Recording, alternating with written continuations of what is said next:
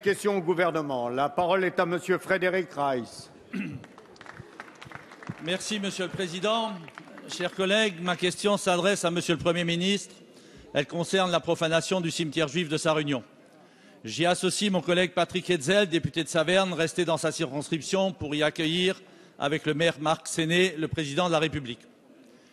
250 tombes ont été vandalisées, la stèle d'hommage aux déportés détériorée.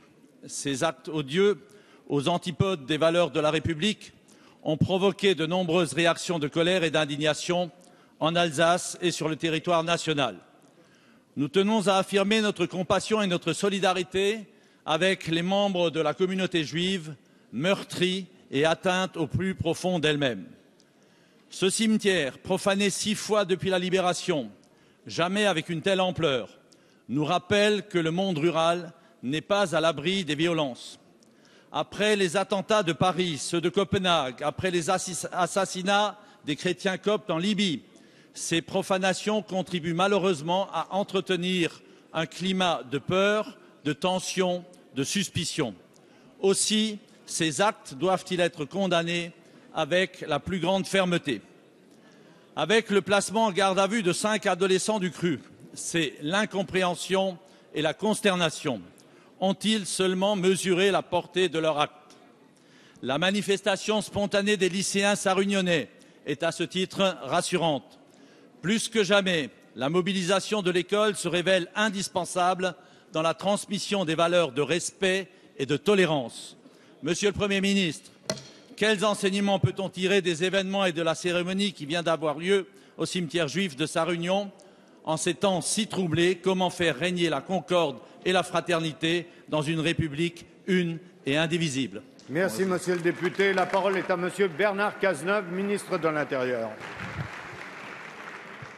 Monsieur le député Frédéric Reiss, nous étions ce matin avec le président de l'Assemblée nationale, le président de la République, le président du Sénat à sa réunion en présence de l'ensemble des élus alsaciens et aussi de la jeunesse de ce village et de cette région qui était venu dire son indignation et son horreur de ce qui s'était produit.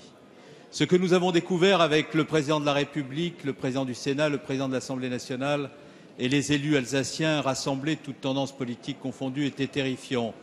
Une profanation de plusieurs centaines de tombes qui manifestaient euh, d'une grande violence et euh, aussi, pourquoi ne pas le dire, de ces haines qui rongent la République de l'intérieur, de cette inconscience lorsque les comportements sont dictés par le seul instinct de la violence. Par rapport à ces actes qui doivent être condamnés avec la plus grande fermeté, le président de la République a rappelé la détermination du gouvernement à agir, à agir d'abord pour protéger tous nos concitoyens de confession juive. C'est ce que nous faisons en assurant la protection des lieux de culte, des institutions, des écoles, parce qu'il est de notre devoir de protéger nos compatriotes de confession juive dans un contexte où ils sont menacés. Nous le faisons grâce à une mobilisation exceptionnelle des forces de l'ordre et des militaires.